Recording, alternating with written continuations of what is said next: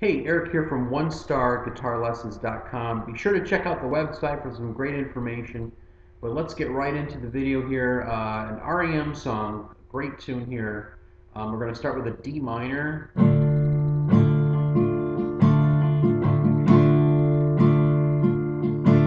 Okay, starts with a D minor and then it goes to G. Um, so we'll start with a D minor.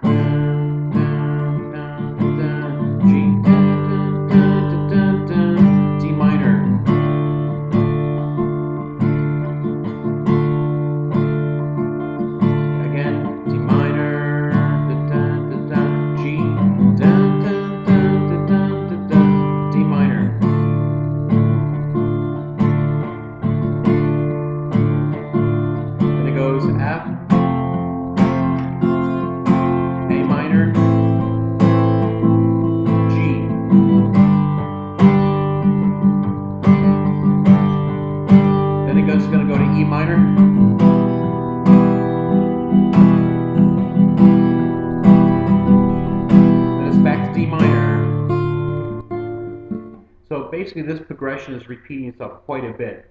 Um, as far as the strumming pattern, I'm going down, down, down, down, up, up, down, down, down, up. Again, down, down, down, down, up, up, down, down, down, up. Okay, so when we do this part again, repeat.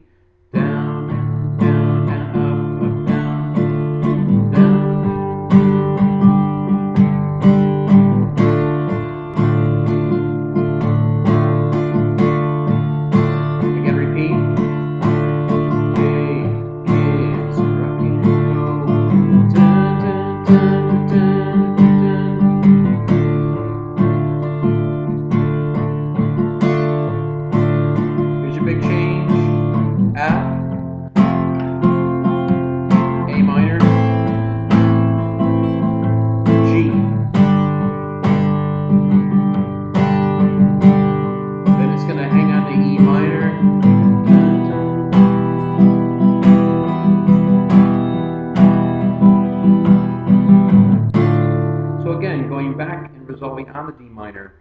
Um, the other major change is it goes to C, to D minor, and they do this a few times. So this part comes in where there's sort of like other instrumentation being added in,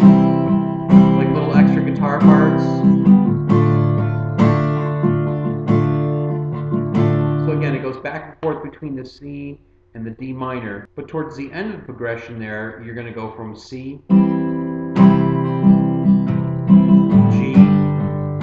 back into the D minor.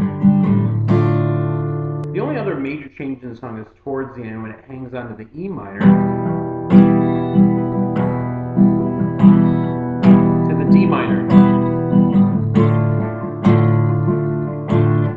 That's it. So at the towards the end, he just keeps going back and forth between the E minor, D minor. Again, the song repeats itself quite a bit.